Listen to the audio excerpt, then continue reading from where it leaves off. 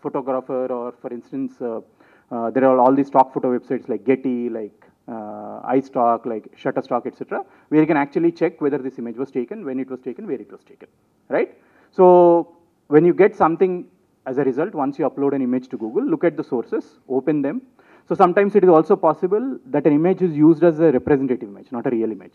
So a lot of times journalists use something as a representative image. What is representative? I don't find anything relevant, so I put a representative image. Doesn't mean that image is associated with the content of the article. So always be, be always be sure. Open the article, read it, see if that image is associated with the content or they're using it as a. So our idea is to find the patient zero. So during COVID, this, this word gained prominence, patient zero. What is patient zero? The first man who got COVID in China.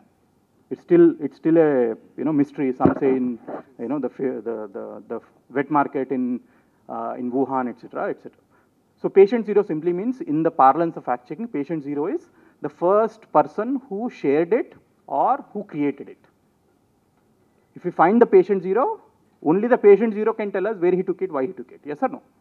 Not some intermediary, right? So in fact checking parlance, we always look for patient zero either in a video or for an image, right?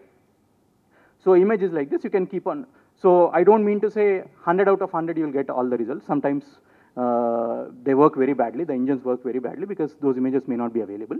So it's a trial and error kind of thing. So if you know, for example, uh, if, the, if the image search does not give you results, always look for clues in images.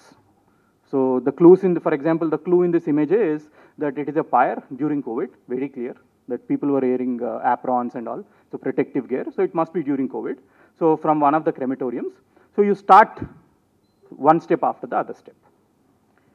We'll look, Uh, look at another image.